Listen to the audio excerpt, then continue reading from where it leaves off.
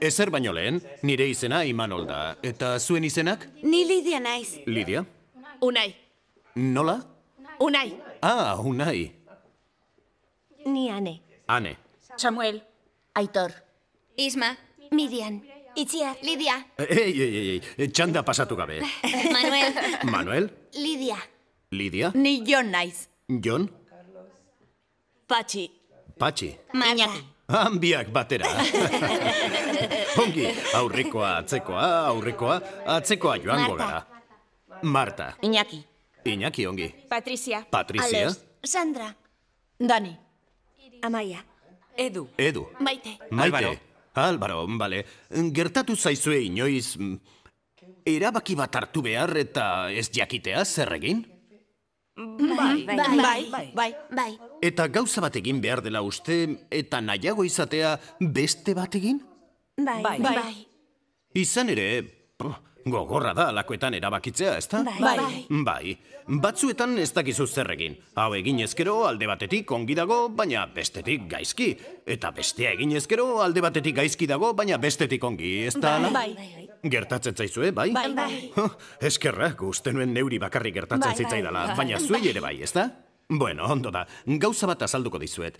Historio honetan hori gertatzen zaie lagun batzuei. Begira, lehen historioa kontatuko dizuet. Eta nik amaitutakoan eskatuko dizuet esateko, ba, ze uste duzuen egingo duela historioko protagonistak, bale?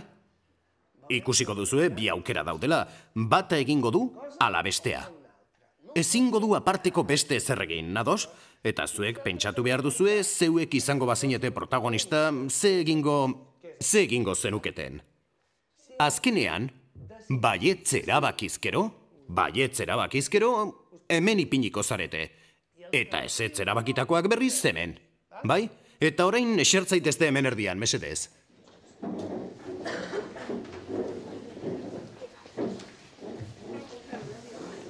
Historio hau, Keparen historioa da.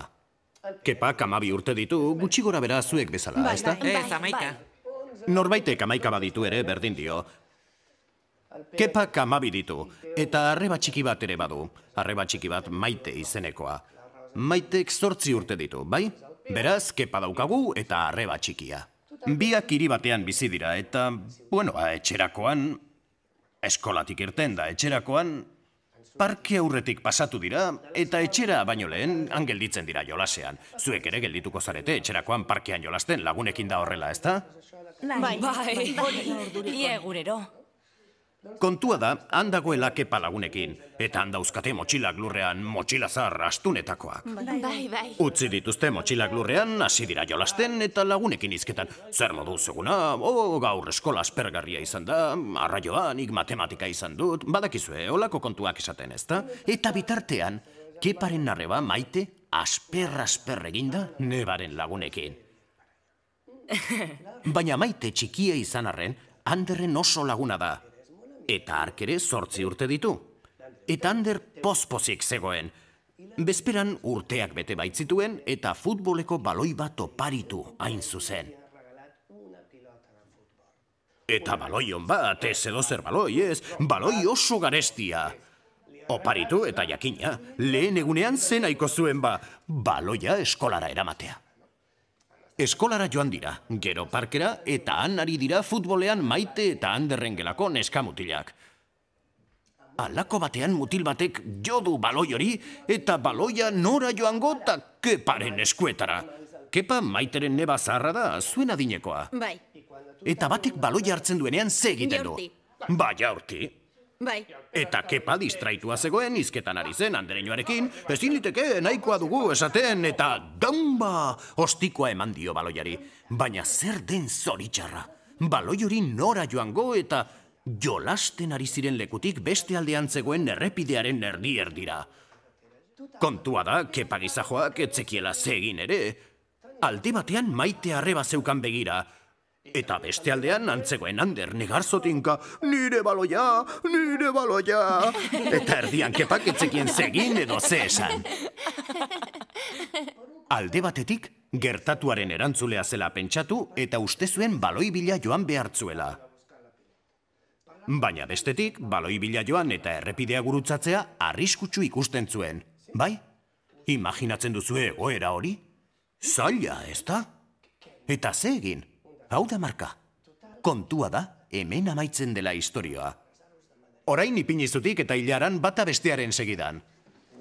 Hilara bakarra egin eta denak estu estu jarri. Hilara bat, hilara bakarra hemen. Ea ba, denok batean, etorri ona. Eta estutu gehiago, estu, estu, estu, gehiago, gehiago. Sartzen zarete denok? Etorri aurrera xeago. Egin urrats bat denok sartzeko. Egin urrats bat eta estu, estu jarri. Eta zein da egoera? Egoera zail zaila daukagu, ezta? Ikustagun ba, nik hiru esandakoan, baietz pentsatzen dutenak, bidea gurutzatu eta baloi bila joango liratekeela, etorri ona. Eta ezetz pentsatzen dutenak, eliratekeela Ander Gizajoaren baloiaren bila joango pasa horra, bale? Bat, bi eta hiru. Aurrera! Orain gauza bat eskatu behar dizuet. Gauza bat eskatu behar dizuet. Talde txikiak osatuko ditugu, eta hartara multzoietan gure erabaki hartzeko arrazoiak argudiatuko ditugu. Ulertzen duzu? Bai. Pentsatu behar duzu, eh? zergatik erabaki duzuen hori. Zuek hor mugitu ere egin gabe. Zuek elkartu, elkartu pixka bat, bai? Eta zuekin bi talde egingo ditugu. Ez, begira, gauza bat egingo dugu. Taldekook elkarri begira, bai? Eta hitz egin elkarri begira. Zuek ere ipini korroan, ipini korroan hitz egiteko. Hori da. Hazen asketa. Korroan ipini. Korroan, hori da. Bai, azena asketa. Berdina, berdina, lasai. Zuen artean erabaki bat adostu behar duzue. Nork azalduko duen erabaki eta eakepak egin behar du? Bai? Hori da. Lasai bota ze pentsatzen duzuen. Erabaki bat adostu. Ondo da. Primeran ari zarete.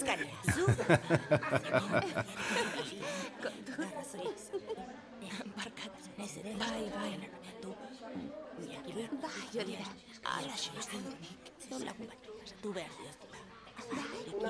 Hartu dituzue erabakiak? Orduan lehen geunden bezala jarriko gara. Shhh, isilik. Jarri guztiok ona begira.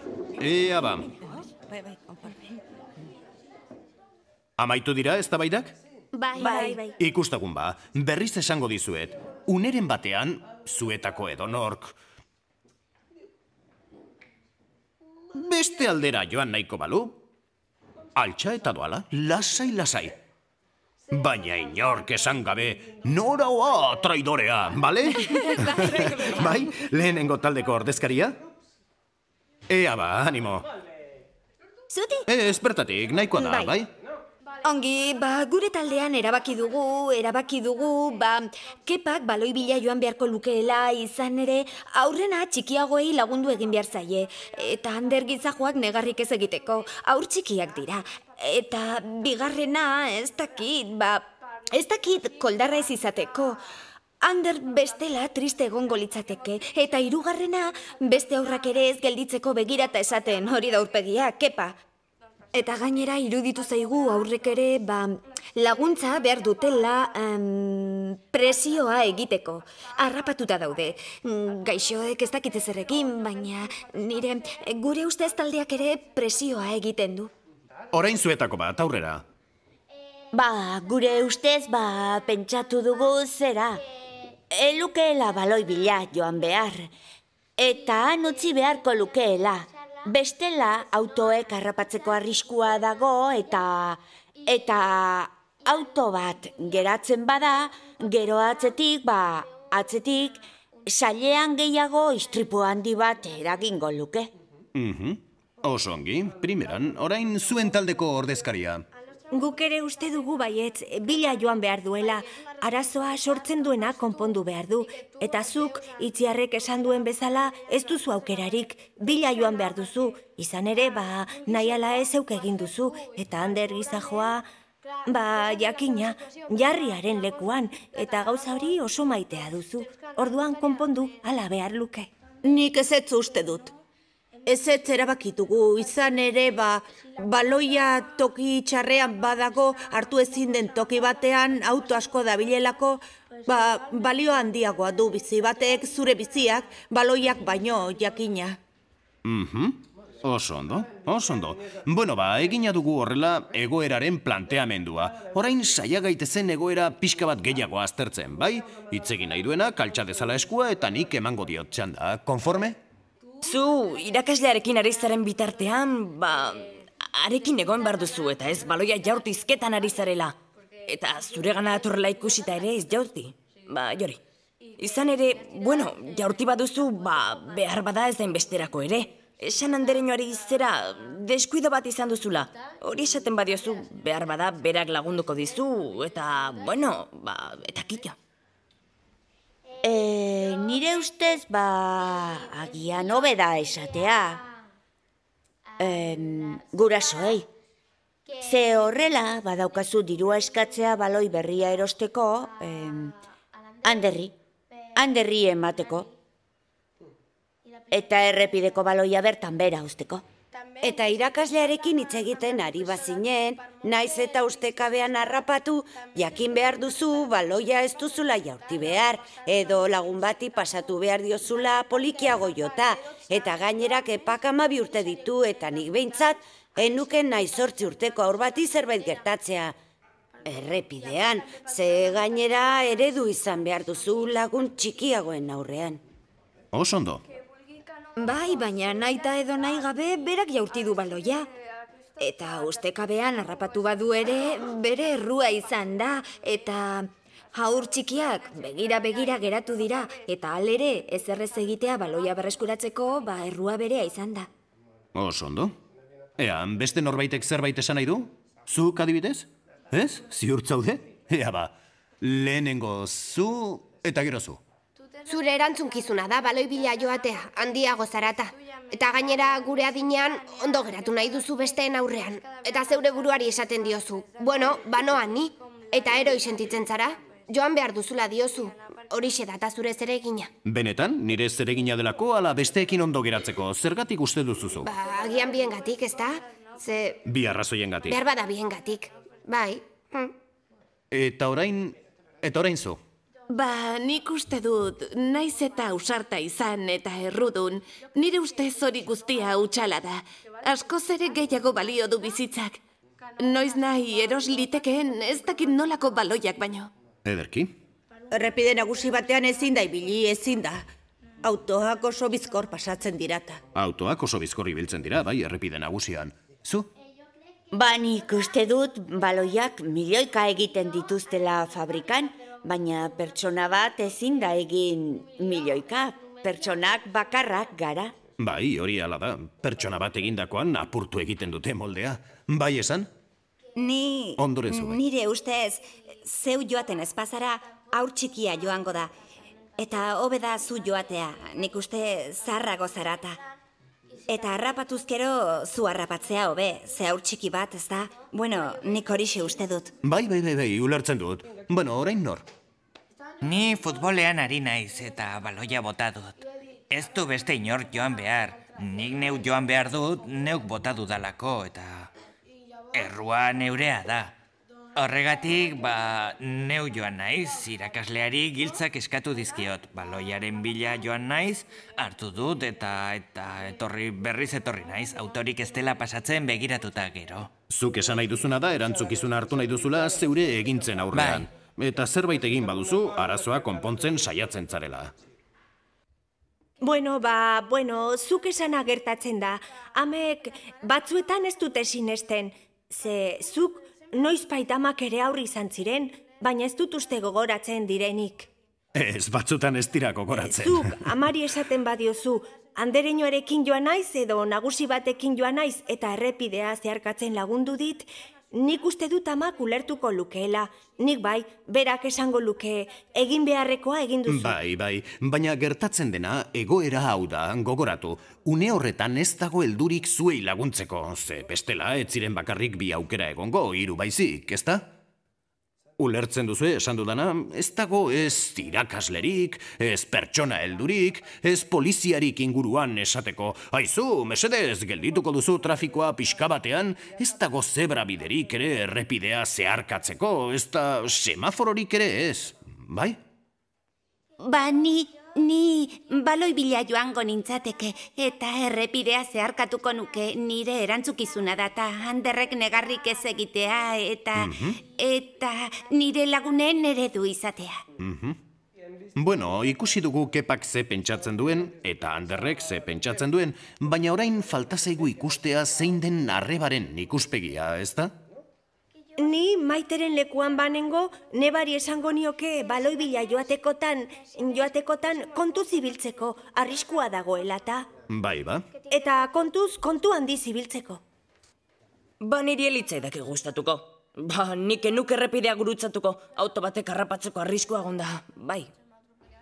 Osondo, alegia, zu gusturago egongo zinateke beste aldean, ezta? Zoaz ba, hartu aulkia eta zoaz beste aldera. Lasai, lasai, pu, pu, pu, tira, zoaz, hori da. Eta hemendikara eta handikona nahi duena alda dadila. Edo nork alda dezake iritzia, bai? Hori da, osondo. Aurrera. Ba, hori, jonek esan duena. Mutikoa joango balitz negar egingo lukeela, ez da? Bueno, negar ez astekotan zela eta joan egin bertzela. Baina maiteren neba, joan ezkero, baloi bila, eta orduan istripua gertatuko balitz, nork egingo luke negar gehiago? Arrebak, ala, ala bestia. Bai, hori, zu, zuke pabazina... Bueno, maite, nebak pentsatuko luke olio bustia zarela. Koldarutxa, eta besteek ere esango lukete... Ala, kepa olio bustia da. Orduan, arrebak iraintzat hartuko luke, eta... Ba, gaizki sentituko litzateke. Zuk uste duzu, ea ondo ulertu dudan, zuk uste duzu arreba aurrean ez dela gertatu balitzori, hau da, maite espalego, gauzak beste modu batera izango liratekeela. Baina arreba aurrean egonda, ba, naita ez joan behar duzula, horixe esan nahi duzu, ezta? Ni maite banintz, saiatuko nintzateke handerria saltzen kepaze egoeratan dagoen, ba oso egoera arriskutsua dela, eta balitekeela zerbait gertatzea. Eta baloia bion artean ere eros dezakegula. Nik talde aldatu nahi nuke. Talde aldatu nahi duzu? Tira ba, galdetu gabe, zuzenean. Baina hartu Bai. aulkia. Aulkirik ez baduzu ezintzara eseri. Ea ba, Ba, nik esango nuke, ba, maiteren lekuan egonda, baloiaren bila joan beharko nukeela. Izan ere, ez atzera eta ez aurrera zaude nire lagunek esaten duten moduan. Ze, ze Ander zure betiko laguna da. Lagun honena, baloia ere urte betetzerako oparitu diote, eta berari ere asko kostatu zaio lortzea, ziur asko. Eta egia esan, ba, penagarria da bere baloia galtzea. penagarria izango litzatekeen, bai. Eta beste alde batetik, ba, Ander bila ez joatea ere, izan ere, ba, hil daiteke. Bizitza arriskuan jarrita, hori ere bai. Arazo handia da, Bai. beraz, arazo handia, bai. Orain, orain pentsazazue hemen erdian kepa dagoela bere buruari esaten. Banoa, enoa, banoa, enoa. Eta nahi duzuena esateko aukera duzue. Ze esango zeniokete kepari? Ba, nik esango nioke, ba, e, e, baloia ikusi duenean, ea zergatik jaurti duen. Gelditu ere egin dezakezu eta inguruan utzi. Eta pentsatu, etzarela zeu bakarrik geratzen gaizki. Arreba ere bai, eta baloiaren bila joan bar duzula, aurpegira barre egitean nahi ez baduzu, bestela barre egingo dizute edo esango dizute, ba, hori oio guztia da, koldarrutxa. Eta zuri esatea, bueno, bale, baina zure arrebari ere esango diote. Eta hori iruditzen zait pikin bat. Nik ez joteko esango nioke, ze norbaitek olio bustia dela esan arren, edo koldarrutxa dela pentsatu berdin diola, baina pentsatzeko hil daitekela ez dakit. Nik esango nioke joateko, joateko baloi bila, bere erantzukizuna delako, berak jaurti duta. Ondo pentsatuz gero, Sandrak esan duena da. Berdin dio besteek zer pentsatzen duten. Zure bizitza da ala baloi bat. Zure bizitza ala baloi bat. Eta baloiak milaka eros daitezke. Eta hobeak. Oso garestiak izan da ere, baloiak beti eros daitezke. Eta zeure bizitza ez. Ta baloia hautsi egin daiteke. Zulatu, galdu, edo ustu, edo... Ez dakit. Barre egingo dizuten lagunak edukizkero, hobe ez edukita, izan ere, erruduntzat jotzen bazaituzte eta baloiaren bila joatera bultzatzen bazaituzte, bizia arriskuan jarrita, hobeda lagunik ez edukitzea. Hau da, zure lagunek ulertu beharko luketela egoera. Bai. Zergatik hartu duzun erabaki hori. Osondo, ea zure txanda. Ba, nik esango nioke kepari baloiaren bila joateko. Behar bada ez da bere errua jaurtitzean errepidera bidali izana, baina joateko hartzera. Horrela erakutsiko du gutxienez bere erantzukizuna hartu duela. Eta berak ba aurpegia eman behar du. Nik hori uste dut. Eta horrela Zure ba ustez zerbait egin behar du, ezta? Bai, naiz eta agian baloia ezin den berreskuratu, zulatu egin delako, apurtu egin dutelako, ba gutxienez konponbide bat bilatzen saiatzeko. Joateko baloi bila, naiz eta laguna kontra egon. Baloi bat baino ez delako, eta lagunek ez ez ez joateko esan da ere, egin dezala zerbait saiatzeko. Ea, labur bildu, zorain arte hitz egin dugu, kepari buruz eta hitz egin dugu, haren arrebaz. Baina zuen ustez hementxe gure aurrean balego zera, Ander... Hemen balego, Ander, ze esango zeniokete? Bai, esan. Nik esango nioke beste baloi bat erosteko, ba... Ez dakit erregei edo eskatzeko. Ondo da, zu? Ez, barkatu zu. Ba, nik barkatzeko esango nioke eta oraintxe bertan nola baloi bila. Ez kezkatzeko, ez kezkatzeko eta bost minutu barru izango duela baloia. Mhm, oso ondo. Esan? Ba, nik asko sentitzen dudala esango nioke, baina bizitza ala baloia dela. Baloia puskatuz gero konpon daitekela, baina bizitzak, ba, ba, harrapatzen bazaituzte ez duela konponbiderik. Oso ondo. Nik esango nioke handerri ez kezkatzeko, kepa segituan joango dela baloiaren bilata, ez duelako nahi lagunen aurrean gaizki geratu. Eta ez duelako nahi arrebak alde batera ustezan, ez duela gaizki geratu nahi alegia. Ederki? Oso aserre zaudenean, otutzen zaizu lehen gauza egiten duzu. Baloi bat ikusten duzu, doba, eta esaten duzu, nazkatuta nago. Oso garrantzitsua da esan duzun hori. Hau da, ezer egin aurretik pixka bat gehiago pentsatu behar genuke. Gauzak hobeto pentsatu Bai. behar dira. Konturatzen bazarete, gauza askotan ados gaude. Esaterako, denok esan dugu mutikoak egin nahi etzuen zerbait egin duela, baina egin egin duela, ezta? Eta zerbait egin beharko duela sortutako arazoa konpontzen saiatzeko. Ez gatoz bat ze egin behar duen erabakitzean, hala ere garrantzitsuena, garrantzitsuena da nola aztertzen dugun egoera. Eskerrik asko?